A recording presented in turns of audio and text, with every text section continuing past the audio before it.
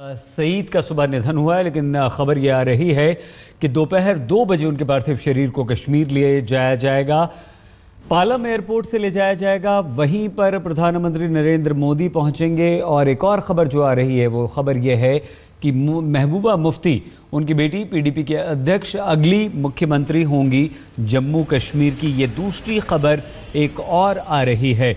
तो पिछले महीने से बीमार चल रहे थे मुफ्ती मोहम्मद सईद, पीडीपी के मुफ्ती मोहम्मद सईद के दर्द, सीने में दर्द की वजह से उन्हें दिल्ली के एम्स अस्पताल में भर्ती करवाया गया था। उसके बाद उन्हें आईसीयू में शिफ्ट कर दिया गया था। प्लेटलेट्स काउंट्स लगातार कम हो रहे थे, जिसकी वजह से उनकी स्थिति गंभीर होती जा रही थी। सीधे इस वक्त एम्स लिए चलते हैं। हिमांशु मिश्रा, हमारे संवाददाता वहाँ पर मौजूद हैं। हिमांशु, क्या गतिविधियाँ इस वक्त चल रही हैं? मेडिकल बुलेटिन या एम्स की तरफ़ से कोई आधिकारिक जानकारी दी गई है?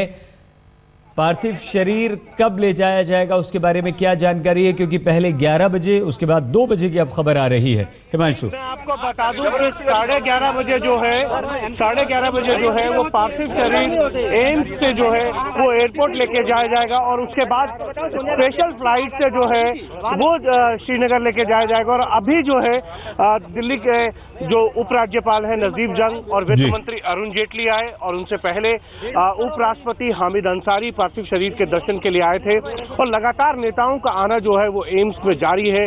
खुद मुफ्ती मोहम्मद सईद की जो बेटी हैं महबूबा मुफ्ती, वो एम्स में मौजूद हैं और वो पार्थिव शरीर के साथ जो है दिल्ली से श्रीनगर जाएँगे और वहाँ जाकर तय किया जाएगा कब उनका जो है जो है क्रिमेशन किया जाएगा। हिमांशु, क्या कुछ तस्वीरें आप वहाँ की दिखा सकते हैं पीछे? क्योंकि हलचल वहाँ काफ़ी ज़्यादा है, लगातार नेताओं के पहुँचने का सिलसिला चल रहा है।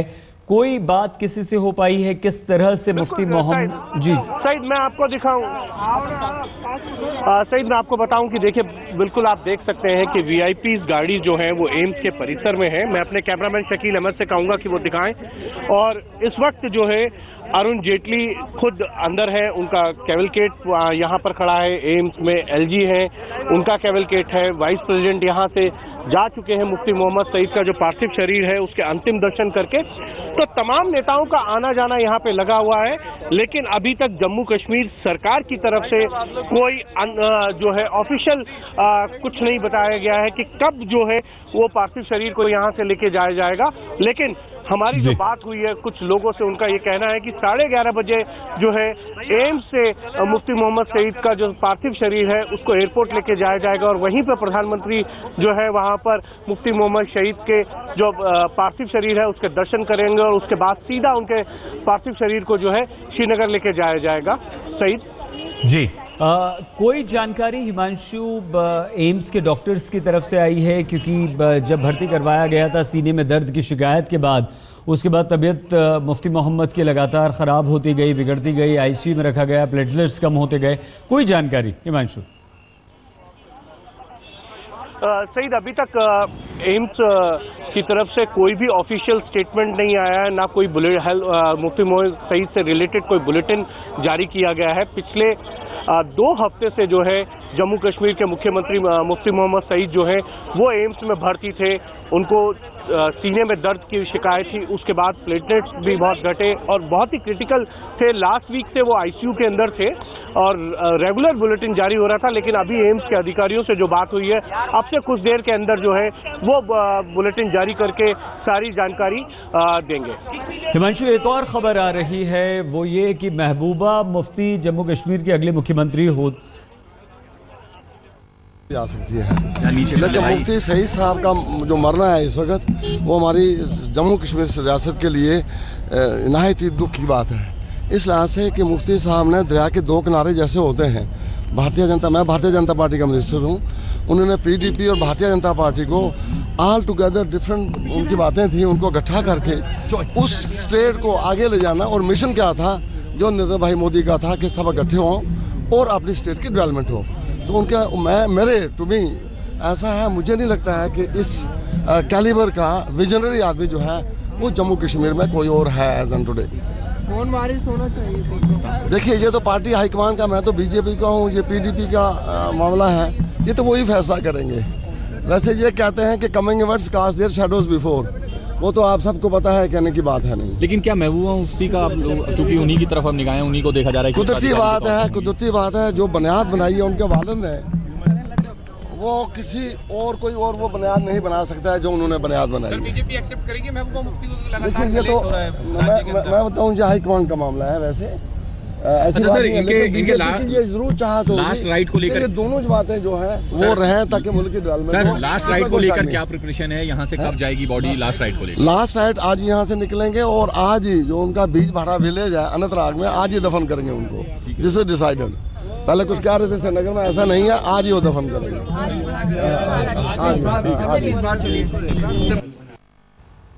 तो ये एक और ख़बर इस वक्त आई है जम्मू कश्मीर सरकार के मंत्री बीजेपी कोटे से, जिन्होंने कहा है कि आज ही सुपुर्द खाक कर दिया जाएगा, यानी कि अंतिम संस्कार, अंत्येष्टि। मुफ्ती मोहम्मद सईद की आज ही अनंतनाग में उनके गाँव में कर दी जाएगी।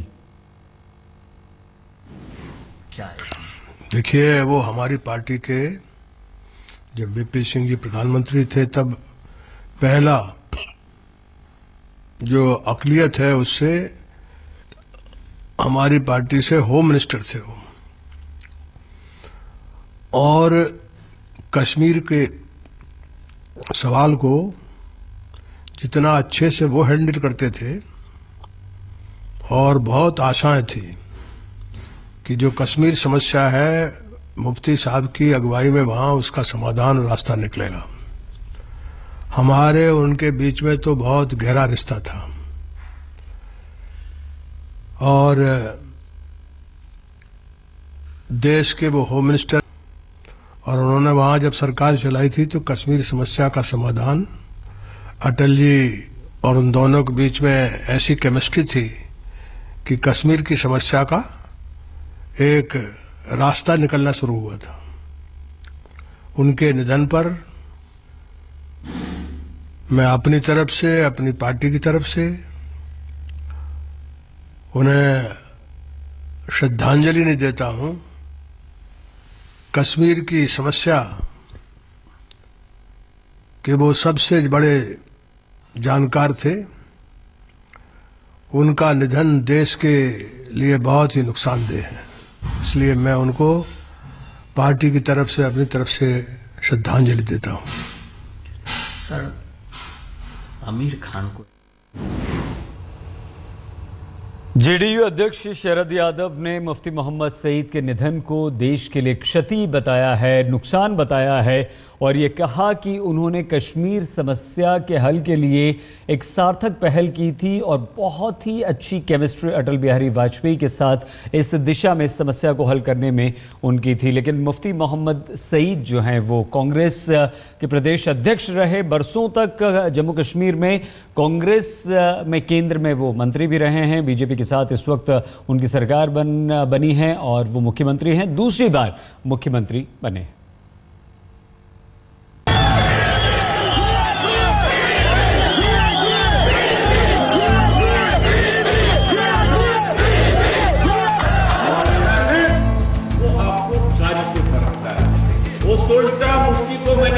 दिखने में सौम्य और मीठी ज़ुबान, लेकिन सियासी दाव पेज के माहिर। मुफ्ती मोहम्मद सईद एक ऐसे नेता थे, जिन्होंने घाटी के सियासी शिखर से केंद्र की सत्ता तक अपनी अलग पहचान बनाई। जम्मू कश्मीर के लोगों ने उन्हें जुझारू और कश्मीर के हक की आवाज़ बुलंद करने वाले नेता के रूप में देखा। तो केंद्र में मुफ्ती मोहम्मद सईद की पहचान इकलौते मुस्लिम गृह मंत्री के रूप में बनी।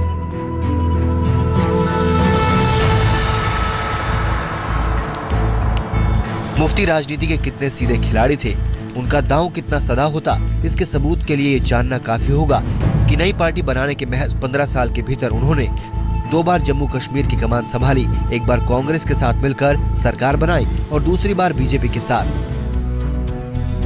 2002 में पीडीपी ने विधानसभा चुनाव में वह 16 सीटें जीतकर कांग्रेस के साथ जम्मू कश्मीर की कमान संभाली। तो 2014 में 28 सीटों वाली पार्टी बनकर पीडीपी बीजेपी के साथ सत्ता पर काबिज हो गई। नेशनल कॉन्फ्रेंस को छोड़कर मुफ्ती मोहम्मद सईद ने किसी के साथ लक्ष्मण रेखा नहीं खींची। जब जिसके साथ फ़ायदा दिखा, उसी के साथ खुलिए। शायद यही वजह है, विरोधियों ने मुफ्ती मोहम्मद पर बार बार अवसरवादी होने के आरोप चढ़े। अमुनी लुटेगा, अमुनी भी लौटेगा। और जो हम कर रहे हैं, आपको मालूम है, जम्मू कश्मीर में हालात खराब रहे। लेकिन सबसे ज़्यादा जो रहा लोग यहाँ के रहे टूरिज़्म के साथ रहे। टूरिज़्म टूरिज़्म सपोर्ट ये उनके रोजी रोटी का सवाल है। ये मुफ्ती सईद का सवाल नहीं। मुफ्ती मोहम्मद सईद ने भले ही कांग्रेस और बीजेपी से हाथ मिलाया, लेकिन नेशनल कॉन्फ्रेंस से कभी समझौता नहीं किया। उनकी पूरी सियासत नेशनल कॉन्फ्रेंस के विरोध पर टिकी रही, चाहे वो कांग्रेस के साथ रहे या फिर अपनी नई पार्टी बनाई। उन्होंने उस पार्टी को हिलाकर रख दिया, जो जम्मू कश्मीर की पूरी सियासत को अपनी विरासत समझती रही। वो साल था उन्नीस दो साल पहले यानी उन्नीस सौ सतासी में कांग्रेस छोड़कर वीपी सिंह के साथ आए। मुफ्ती मोहम्मद के सितारे बुलंदी पर थे। वीपी सिंह ने अपनी सरकार में मुफ्ती मोहम्मद सईद को गृह मंत्रालय की ज़िम्मेदारी सौंपी और वो देश के पहले मुस्लिम गृह मंत्री बने। उनके बाद आज तक कोई मुस्लिम गृह मंत्री नहीं बन पाया, लेकिन गृह मंत्रालय की ज़िम्मेदारी संभालने के चंद दिनों बाद ही उनकी तीसरी बेटी रुबाइया सईद को आतंकियों ने अगवा कर लिया रुबाइया की रिहाई तब हुई जब केंद्र सरकार ने बदले में पाँच आतंकवादियों को छोड़ दिया। रुबाइया तो रिहा हो गई, लेकिन मुफ्ती मोहम्मद सईद विवादों में घिर गई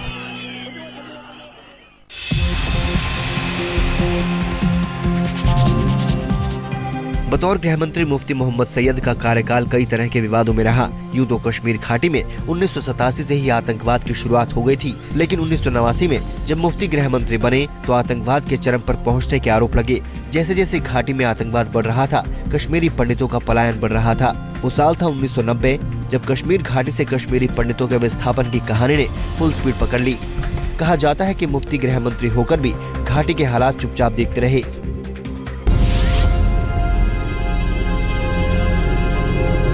मुफ्ती एक दूरदर्शी नेता, कुशल रणनीतिकार और समझदार सियासतदान थे। वो विवादों के तूफ़ान में भी मज़बूत इरादों के साथ डटे रहे। अपनी नई पार्टी बनाई और तीन साल के भीतर जोड़ तोड़ की जुगत के साथ सत्ता पर काबिज हो गए। हालाँकि 2002 में जब मुफ्ती मोहम्मद सईद ने जम्मू कश्मीर की कमान संभाली तो सूबा कई समस्याओं से जूझ रहा था, लेकिन मुफ्ती की सूझबूझ की बदौलत हालात तेज़ी से बदले। मुफ्ती ने घाटी में शांति के लिए कोशिशें की, लेकिन उन पर अलगाववादियों को लेकर नरम होने के आरोप हमेशा लगे। उनके कार्यकाल में सीमा पर सीज फायर हुआ और राजनीतिक कैदियों की रिहाई भी हुई लेकिन ये मुफ्ती मोहम्मद का कार्यकाल ही था जब अलगाववादियों और केंद्र के बीच सीधा संपर्क कायम हुआ दूसरी बार भी अलगाववादियों को लेकर मुफ्ती का रवैया उस वक्त साफ़ हो गया जब मुख्यमंत्री बनते ही उन्होंने मशरत आलम की रिहाई के आदेश जारी कर दिए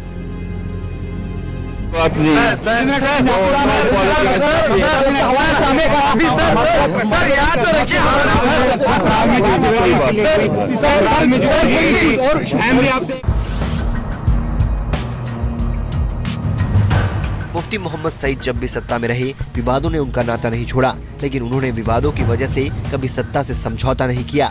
दूसरी बार बीजेपी की मदद से मुख्यमंत्री बने तो पाकिस्तान के समर्थन में बयान दे दिया, काफ़ी हंगामा हुआ। बीजेपी ने आँखें तरेरी लेकिन मुफ्ती मुख्यमंत्री की कुर्सी पर बने रहे।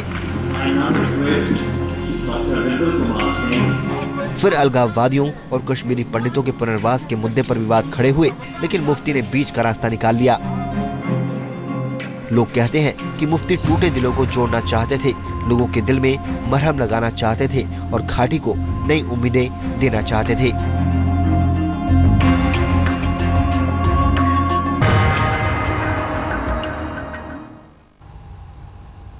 हम होते